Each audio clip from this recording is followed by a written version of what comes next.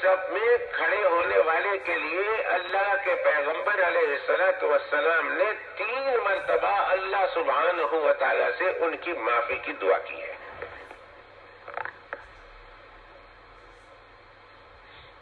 اندازہ لگا لیجیے کہ اللہ کے پیغمبر علیہ السلام کی دعا ہے اور تین تین مرتبہ دعا ہے۔ اس انسان کے لیے کہ جو انسان پہلے سے اپنے نماز ادا کرتا ہے جا میرے مولا ایک اللہ کے پیغمبر علیہ وسلام کی دعائی کیا کم تھی؟ کہ جس کے لیے اللہ کے پیغمبر علیہ السلاط وسلام ایک مرتبہ دعا کرے، اس کے قبولیت میں شک کیا تھا؟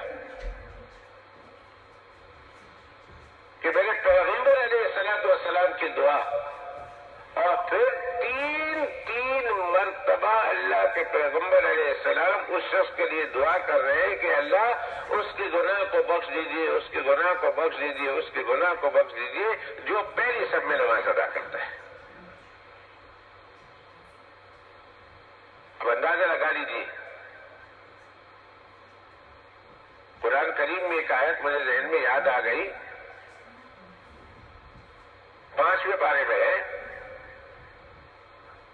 وما أرسلنا من رسول إلا ليطاع بإذن الله، ولو أنهم ظلموا أنفسهم جاءوك فاستغفروا الله واستغفر لهم الرسول لوجدوا الله توابا رحيما. اللہ فرماتے ہیں کہ جنہوں نے اپنی جانوں پر ظلم کیا، گناہ کیے، اللہ کی نافرمانی کی۔ اگر ایسے انسان اے والسلام آپ کے پاس آ جائے۔ ولو انہم ظلموا انفسہم۔ کاش یہ بات لوگوں کی سمجھ میں آ جائے اور لوگ ایسا کریں کہ جنہوں نے اپنے آپ پر ظلم کیا، گناہوں میں زندگی گزاری، وہ آپ کے پاس آئے جاہو کا آپ کے پاس آ گئے۔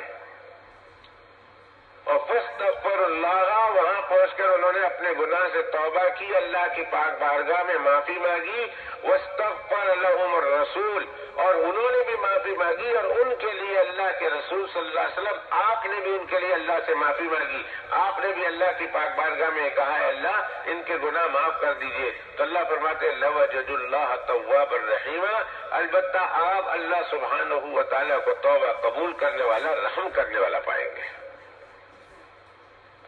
یعنی یہ نہیں کہ رسول اللہ کسی کے لیے دعا کرے اور اللہ تعالیٰ اس کی دعا کو رد کر دے۔ صلی اللہ علیہ وسلم۔ اب اس دعا میں پیچھے شک کیا رہ گیا؟ جب اللہ کے پیغمبر علیہ السلام کی دعا ہو کسی انسان کے لیے، تو یقیناً اللہ سبحانہ و تعالیٰ اپنے محبوب کی دعا کو قبول کرے گا، اس شخص حق میں، جس کے حق میں دعا کی گئی ہے۔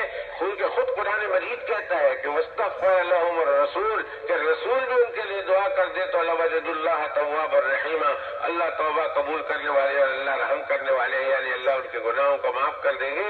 تو اب جو بھی انسان اپنے گناہوں کو بخشوانا چاہتا ہے، جس انسان کو یہ چاہیے کہ میرے گناہ بخش جائیں، اور گناہ بھی میری صرف میری توبہ سے نہیں، رسول اللہ صلی اللہ علیہ وسلم کی دعاؤں سے بخشے جائیں اس کے لیے یہ لازم اور ضروری ہے کہ جب وہ مسجد میں آئے تو پہلی صفوں میں جگہ حاصل کریں مجھے سمجھ میں نہیں آتا یہ فلسفہ کہ کیوں بندہ مسجد میں جلدی پہنچ کر اپنی نماز کو پہلی صف کے علاوہ کسی اور جگہ پہ ادا کرتا ہے۔ یہ بات مجھے سمجھ میں نہیں آتی۔ یا تو جناب رسول اللہ صلی اللہ علیہ وسلم کی باتوں پر اور ان کی دعاؤں پر یقین نہیں ہے یا اسے مسئلہ معلوم نہیں اور مسئلہ معلوم ہونے کے بعد، مسئلہ کے پتہ کر لینے کے بعد پھر پیچھے رہنا، یہ اپنے آپ پر گویا ظلم کرنا ہے۔